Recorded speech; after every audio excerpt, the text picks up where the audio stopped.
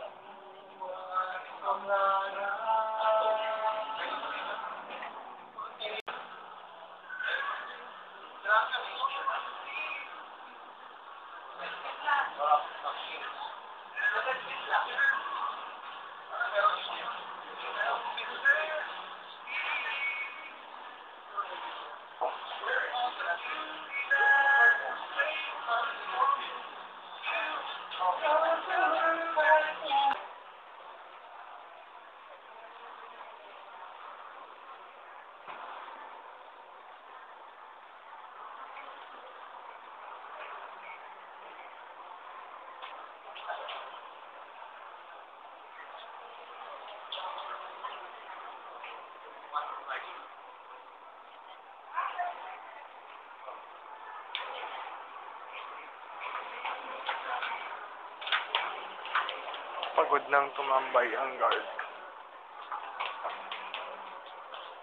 Tinatabad lang tumambay.